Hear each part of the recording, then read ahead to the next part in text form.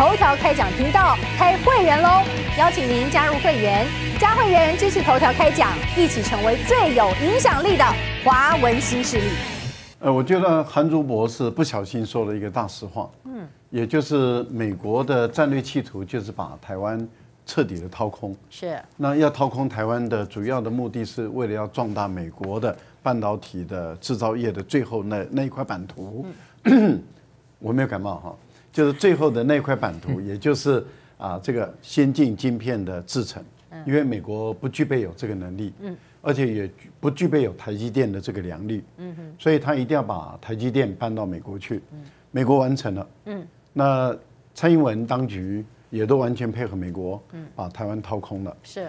那台湾后续的状况会越来越不理想。是。那当然，对于一个美国在台商会的投资者来说，这间接的已经影响到他的利益。而且他一个人可能代表的是很多的美商，或甚至其他的外商。对，那也就是说，如果美国因为叶伦一直在提醒，嗯，叶伦这个是基于美国官员的立场，他们在做风险管控，嗯。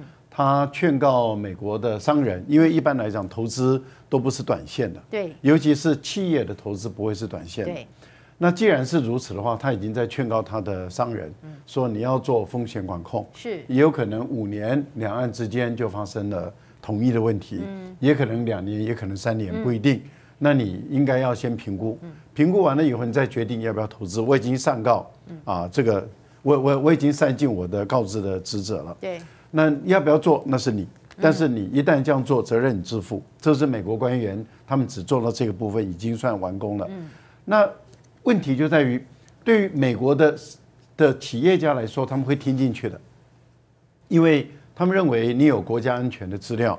你有这个美国重大的情报的资料，嗯，所以你所评估的应该是可靠、确实的，嗯，所以很有可能他们就不愿意投资了。是的。那既然不愿意投资的话，那外资进台湾的可能就下降了。嗯。那么他们进股市的做短线的就会快，嗯。但是做企业实体能够创造台湾就业率的就会下降。对。那在台商会的这一些人，嗯。他们的本身的发展就受到限制了，甚至他的总公司都想把它撤回去。对啊，那对于他来讲，他的利益就受损了。所以他是基于间接利益受损的人，他就提供，他就提出来说，你不能够这样做。嗯，但是你不能够这样做，但事实上美国政府已经这样做了。是啊，所以他已经把蔡英文一直在骗台湾人的。那个大实话说出来了，说出来了。那台台积电不再是护台神山，因为真正最重要的制程搬走了以后，那台湾情况对美国人来讲就可有可无。一旦是如此的话，又不来投资，又可有可无，那最终那当然就是两岸之间越来越靠近了。是哦，这个就是美国商会的一个评估。可是我觉得叶伦讲的一句话不对，地方是在哪里呢？就是说两岸紧张关系局势就是美国造成的嘛。嗯。其实两岸关系会紧张，就是美国跟蔡英文当局造成的嘛。你不要忘了马英九时代的时候为什么没这个问题？马英九时代有九二共识啊。那所以两岸之间好到不行的时候，请问一下外资拼命来台湾投资，因为把台湾当成一个滩头堡，可以进大陆。所以我觉得今天两岸关系紧张，确实就是美国跟蔡英文当局造成我们今天台湾的困局。不是要搬。搬走的不会只有台积电了哦，那到时候还整个系列、整个供应链，但是事实上可能连外商是不是都要相继出走，只因为觉得这里越来越不安定了呢？这是不是真的会是一个风向？不过我们刚刚谈到了美国财长耶伦哈，那现在呢，美国拜登政府里面还有另外一位女性的官员扮演着相当重要的一个角色，她就是美国的商务部长雷蒙多。韩冰，我们现在看到呢。雷蒙多现在根据日本共同社的报道，哈，现在他在频频施压。之前其实他施压荷兰，后来又施压日本，而且说九号还打电话寻求协助，要跟日本联手打压中国大陆研发高阶晶片的野心。结果彭博有一个报道是说呢，经不起美国的压力，所以日本跟荷兰原则上同意加入美国，会要加强对中国大陆出口先进晶片制造设备的管制。荷兰跟日本真的会这样想不开吗？因为他们还是要着眼他们自己这个国家的利益呀。那现在到底是不是真的要配合美国？但如此一来的话，那难不成接下来要小心的是中国大陆的反制呢？韩冰，我觉得虽然荷兰跟日本都想要抵抗住美国的压力，可是原则上他们应该是抵抗不了。嗯，你看荷兰一开始也是说，我们根本不要甩你美国，还是要继续卖给中国大陆。对。可是阿斯摩尔后来还是屈服了。嗯哼。对啊，因为没办法，美国的压力实在太大。嗯。那如果连荷兰都抵抗不住美国的压力的话，那日本就更不用讲了。是。日本基本上就本来就是一个几乎被美国控制的一个国家，所以当美国人对他提出这个要求的时候，他顶多只能拖一下子，他不可能拖太久。然后荷兰也同意的话，那日本更没有抵抗力了。嗯，何况日本、美国对日本也还不错啊，因为他把我们的台积电送给他了。熊本 对啊，而且还可能不止一个厂。是，所以 对日本来讲，我还是有收获啦。我对我的国民也有交代啦，因为我换来一个台积电啊，台积电的先进制程七纳米可能要在日本做。哦，对，所以在这种状况下，哎。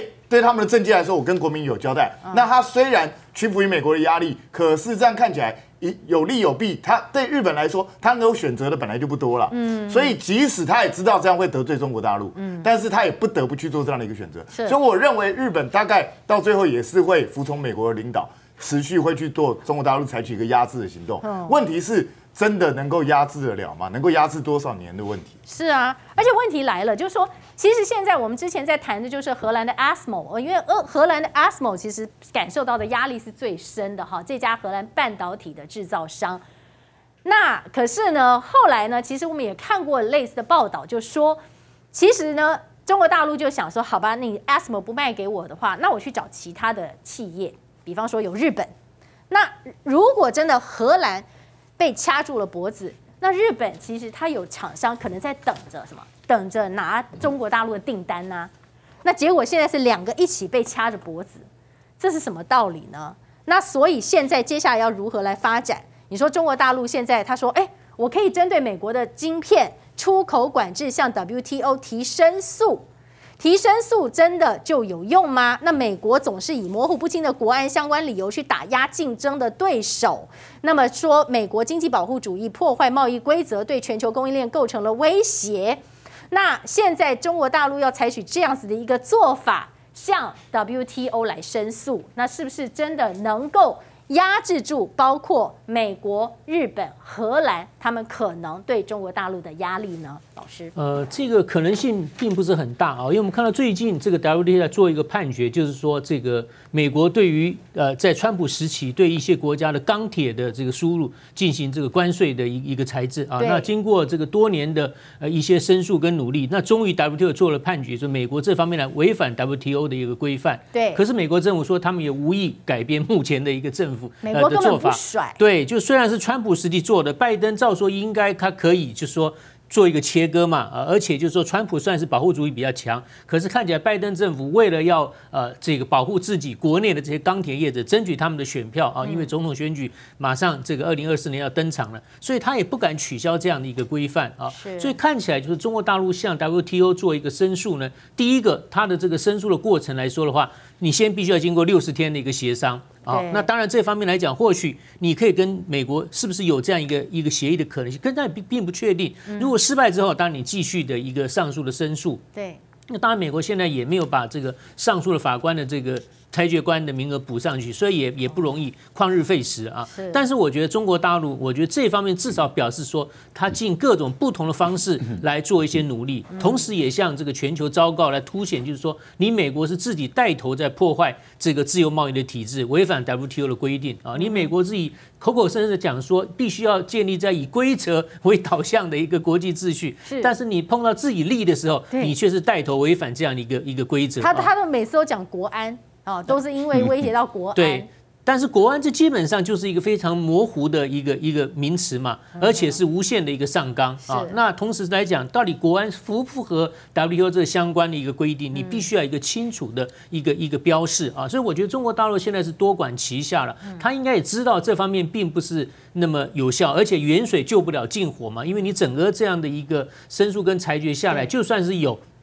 也可能要经过这个一两年或几年的这个时间，但是它的晶片打击已经开始了啊，所以我觉得中国大陆它做这一方面只是一个它应该做的啊，想要来表表达这样的一个企图，事实上我觉得也让世界其他国家看是不是能有响应的一个可能性，因为受到影响的并不是只有中国自己啊，你美国自己的厂商也受损了，也许他们心里也不见得愿意。那你日本跟荷兰的这个厂商，事实上当然也更不见得是愿意，所以大家也许心理上也暗示的希望呢，中国这样的一个诉求能够得到这个 WTO 或其他整个国际舆论的一个一个支持啊，对美国施加压力。海皇 XO 干贝酱。